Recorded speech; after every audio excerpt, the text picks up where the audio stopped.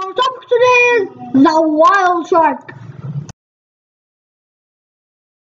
The whale shark is one of the 400 different shark species. The whale shark is the largest living shark discovered.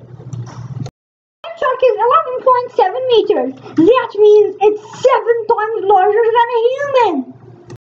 The mass of the whale shark is 20 tons. With length 20 meters, the megalodon, the extinct shark. Do you think this gigantic sized shark will be aggressive? No. Whale sharks feed on krill and plankton. They're filter feeders. They eat 25 kilograms of food every day. Whale sharks have tiny teeth. 3,000 of them. The life cycle and the lifespan of the whale shark are known.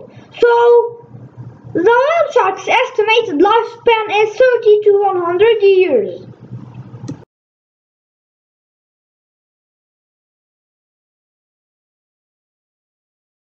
Did you like this video?